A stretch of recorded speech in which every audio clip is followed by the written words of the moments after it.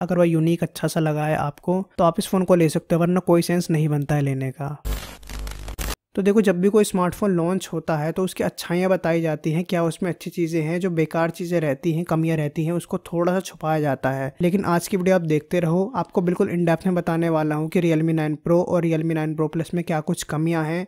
साथ में अच्छी चीज़ों की बात करेंगे ऑफकोर्स तो बेसिकली आपका वीडियो देखना वसूल होने वाला है और साथ ही कंपेरिजन ओवरव्यू भी मिलने वाला है दोनों स्मार्टफोन्स के बीच में। तो ध्यान से वीडियो को देखते रहना। तो देखो, सबसे पहले बताना चाहूँगा कि Realme 9 Pro पर से कैमरा सेंट्रिक स्मार्टफ़ोन है, ठीक है, बात समझ आती है, लेकिन बाकी स्पेसिफिकेशंस का क्या? तो देखो डिस्प्ले जो यहाँ पर दी गई है सिक्स पॉइंट फोर इंचज़ की है एमलेट डिस्प्ले अच्छी बात है अंडर डिस्प्ले फिंगरप्रिंट सेंसर भी है, उसमें हर्ट रेट मॉनिटर का भी ऑप्शन है, जैसे कि स्मार्ट बैंड या स्मार्ट वॉच के अंदर होता है, लेकिन रिफ्रेश रेट नाइन्टी हर्ट्स का है, जो कि 120 हर्ट्स होना चाहिए था। एक के साथ इतना महँगा फ़ोन है तो मेटल की फ्रेम देना चाहिए था, जबकि यहाँ पर आपका प्लास्टिक का फ्रेम है। हालाँकि जो बैक है, उसके अंदर आपका ग्लास दिया गया है और जो आपका ब्लू वाला वेरियंट है, वो आपका धूप में कलर भी चेंज कर रहा है Vivo V twenty three pro की तरह। जो डेफिनेटली आपकी हाईलाइट रहने वाली है कंपनी इसको दिखाकर ही फ़ोन बेचने की कोशिश करेगी कैमरा के बाद। साथ ही सी टाइप है हेडफोन जैक है स्टीरियो स्पीकर्स हैं, दो स्पीकर हैं यानी बट इसके अंदर आप एसडी कार्ड नहीं लगा सकते मेमोरी कार्ड नहीं लगेगा इसके अंदर। जबकि बात करें रियलमी नाइन प्रो की, इसके अंदर थोड़ी सी बड़ी डिस्प्ले है सिक्स पॉइंट फाइव की नाइन प्रो प्लस से।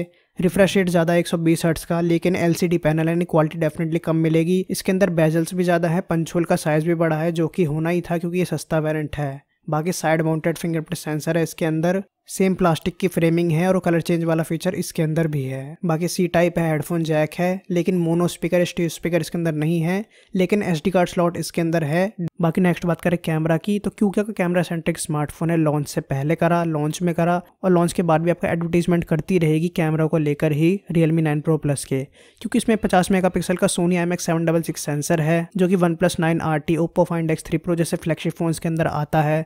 ओ भी देखने को मिलती है इसके अंदर ई भी देखने को मिलती है स्टेबल वीडियोज़ में निकाल पाओगे फ्लैगशिप लेवल की। बाकी आठ मेगा पिक्सल का अल्ट्रावाइड कैमरा है, जो अगेन आपका सोनी का सेंसर है और तीसरा आपका दो का मैक्रो है। तो नो डाउट आपका कैमरा सेटअप अच्छा और वास्तव में अच्छी फ़ोटोज़ निकाल कर दे रहा है। क्योंकि फिर से रिपीट कर रहा हूँ, ये आपका कैमरा सेंट्रिक स्मार्टफ़ोन है, इसलिए इतना ज़्यादा महँगा है, क्योंकि कैमरा सेटअप पर ही ज़्यादातर पैसा लगाया गया है इस फ़ोन के अंदर। लेकिन फिर भी अगर कैमरा सेंट्रिक स्मार्टफ़ोन आप बना रहे हो तो इसका मतलब साफ़ है, उन लोगों को आप टारगेट कर रहे हो जिनको कैमरा अच्छा चाहिए। तो ऐसे में फोर के थर्टी एफ़ ही क्यों दिया है maximum four K sixty F होना चाहिए था, जबकि यहाँ पर आपका सिक्सटी एफ़ ऑप्शन सिर्फ़ फुल एचडी में है। वैसे फ्रंट में भी सोनी का सेंसर है, सोलह मेगा का, जिसमें अगेन आपका थर्टी एफ़ का ही सपोर्ट है मैक्सिमम फुल एचडी में। सिक्सटी एफ़ नहीं है तो एक दो कमियाँ है जिनको भी पूरा करना चाहिए था रियलमी को अगर कैमरा के नाम पर स्मार्टफ़ोन बेचना चाह रहे हो तो। जबकि बात करें रियल मी नाइन प्रो की, इसके अंदर आपका नॉर्मल सेटअप है, चौसठ मेगापिक्सल का सेंसर सैमसंग का, जो कि बहुत सारे स्मार्टफोन्स में और भी देख रहे हैं। नॉर्मल सा आठ मेगापिक्सल का अल्ट्रा वाइड है, दो एम के मैक्रो के साथ। और यहाँ पर आपको कैमरा क्वालिटी नॉर्मल बाकी स्मार्टफ़ोन जैसी ही देखने को मिलती है इसके रेंज के। Realme nine pro plus जैसी नहीं है डेफिनेटली और ना ही यहाँ पर आपका OIS है। बात कर जाए प्रोसेसर की तो प्रोसेसर में ज़्यादा डिफरेंस मैं कहूँगा नहीं है, अगर आप गेमिंग नहीं करते हो तो। क्योंकि डेली यूज़ में आपको दोनों प्रोसेसर सेम से ही लगेंगे, अगर मैं ईमानदारी से बताऊँ तो बट फिर भी जो आपका Realme 9 Pro Plus है, उसमें है मीटेक डायमेंसिटी 920 जो कि Snapdragon 778G के सिमिलर है ऑलमोस्ट फ्लैगशिप परफॉर्मेंस निकाल कर दे रहा है, जबकि जो आपका Realme 9 Pro है, उसमें है Snapdragon 695 जो कि Vivo T1 5G में भी आ चुका है और Redmi Note 11 Pro और पोको के स्मार्टफ़ोन में भी आएगा। ये भी आपका अच्छा 5G प्रोसेसर है सिक्स नंबर ही देखने को मिलता है। यानी कुल मिलाकर कहें तो डिसेंट ऑप्टिमाइज प्रोसेसर है, कोई दिक्कत नहीं होगी।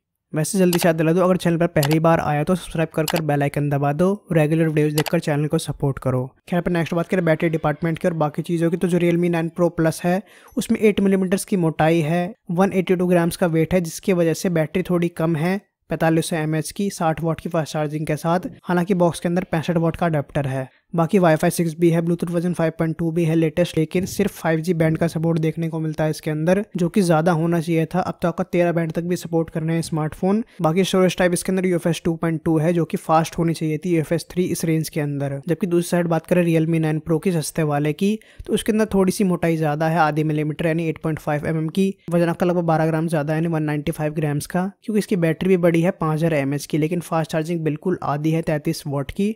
यानी लगभग आपका डेढ़ घंटा लेगा स्मार्टफ़ोन फुल चार्ज होने में। बाकी स्टोरेज ऑप्शन यहाँ पर भी सेम है, छह एक सौ अट्ठाईस जीबी आठ एक सौ अट्ठाईस जीबी लेकिन प्रो प्लस की तरह दो सौ छप्पन जीबी का वेरियंट यहाँ पर नहीं है। बाकी वर्चुअल रैम का ऑप्शन दोनों में है तेरह जीबी की रैम टोटल हो जाएगी। तो यहाँ पर अगर समरी हम देखें तो देखो प्राइसिंग डेफिनेटली बहुत ज़्यादा है specially Realme nine pro plus की। बट खैर हमें पता है कहीं ना कहीं कि आपका ऑफ़र लगाने के बाद और सेल के अंदर प्राइसिंग काफ़ी डाउन हो जाएगी दोनों ही फ़ोन की। तो ऐसे में अगर कंक्लूजन की बात करें तो रियलमी नाइन प्रो प्लस उन्हीं लोगों के लिए है सिर्फ़ जिनको कैमरा अच्छा चाहिए और कैमरा सेंट्रिक स्मार्टफ़ोन देख रहे थे इस रेंज के अंदर। साथ इसको चूज़ करने का बाकी रीजन हो सकता है। इसका जो बैक डिज़ाइन है कलर चेंज वाला, अगर वह यूनिक अच्छा सा लगा है आपको तो आप इस फ़ोन को ले सकते हो, वरना कोई सेंस नहीं बनता है लेने का। जबकि जो रियलमी नाइन प्रो है, उसके अंदर कुछ खास नहीं है बताने लायक रिकमेंड करने लायक। तो बस अगर आपको डिज़ाइन अच्छा लगा है फ़ोन का और रियलमी के फ़ोन पसंद आते हैं यू पसंद आती है तो आप चूज़ कर सकते हो। वैसा कुछ खास उसके अंदर नहीं है, बाकी फ़ोन्स के कंपैरिजन में। वैसे कमेंट्स के अंदर आप बताओ कौन सा स्मार्टफ़ोन आपको ज़्यादा अच्छा लगा है? और रियलमी नाइन प्रो सीरीज़ से अच्छे कौन से स्मार्टफ़ोन अवेलेबल हैं आपके हिसाब से अभी मार्केट के अंदर? साथ ही चैनल से जुड़े रहो सपोर्ट करो रेगुलर वीडियोस देखो। उसके लिए बेल आइकन दबाना ज़रूरी है, क्योंकि नोटिफिकेशन बेल से ही आपको रेगुलर वीडियोस मिलेंगी।